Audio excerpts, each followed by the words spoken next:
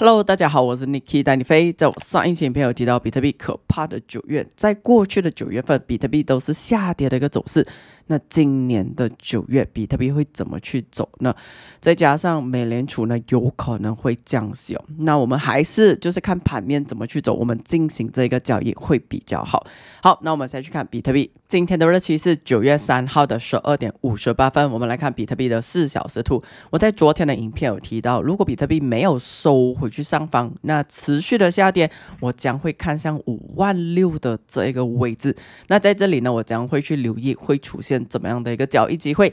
但这个比特币并没有就是下跌到这一个位置，而是收回去这一个支撑的上方出现了这样的一个反弹。切换到一小时图，比特币突破这一个之前跌破的一个支撑，收回去上方出现这样的一个反弹。比特币在今天早上出现了一个倒锤，那这一个是一个看空的价格行为。我们从这个高点拉斐波那奇到低点哈，你可以看到现在的这个比特币受主。是在斐波那契零点六一八了，就非常的漂亮。这个下跌呢，大家可以特别去留意这一个支撑阻力。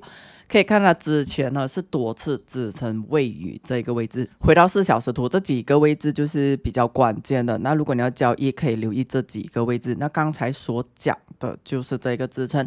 那在昨天影片讲的是这个下方的一个支撑，而主力的位置是目前的这个主力。那还有就是上方的这个主力哦，这四个点位呢都是值得去留意，有什么交易机会的。那要是说后续的这个比特币下，跌到了这个位置，获得了支撑反弹。那如果它可以突破这个阻力，那持续的往上去涨。当比特币上涨到了这个位置，就很关键了。你看，它是之前很关键的支撑阻力互换位，而且我们从顶部这个位置拉斐波那契到底部，你可以看到零点六八也刚好位于这个位置。所以不管后续的这个比特币是怎么去走，那如果你要进行交易，哦，就是你可以留意这四个很关键的位置。比特币位于周图，大家可以看到，比特币都还是在盘整的一个区域内，所以在小时间级别，你可以看到也是蛮严重的这一个震荡的一个行情，所以是不容易去进行操作。那如果真的要进行操作呢，就像我刚才讲的，关键的位置可以特别去留意。那最主要就是你的这个仓位一定要做。好哦，最好就是在这样的一个行情呢，小仓位哦去进行操作就好了。还有就是不要太频密。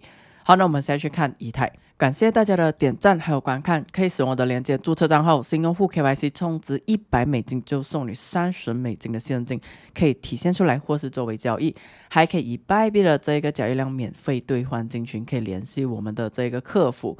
那如果你的户口是持一百 K 美金的，赶紧联系我们哦，因为我们呢会送你这个特别福利，就是把钱送给你。好，可以联系我们的客服。我们现在去看以太。我们来看以太的四小时图，我在昨天的影片有提到，就是有两个支撑线可以去留意的，但以太都没有，就是下跌到这个支撑线出现了一个反弹。那近期的这个走势哦，真的是比较难去琢磨。那我们可以看，就是这个以太在这一个位置都有六天的时间了，以太反弹到了一个很关键的阻力哦，可以看到之前的这个支撑阻力互换位就是位于这个位置，你看。